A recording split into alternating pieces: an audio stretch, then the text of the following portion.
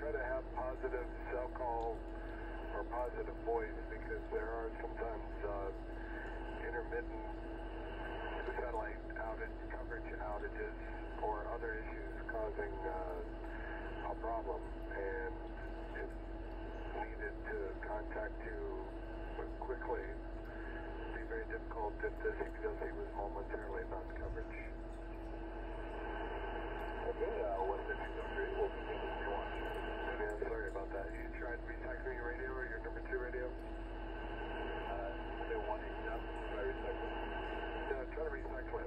power.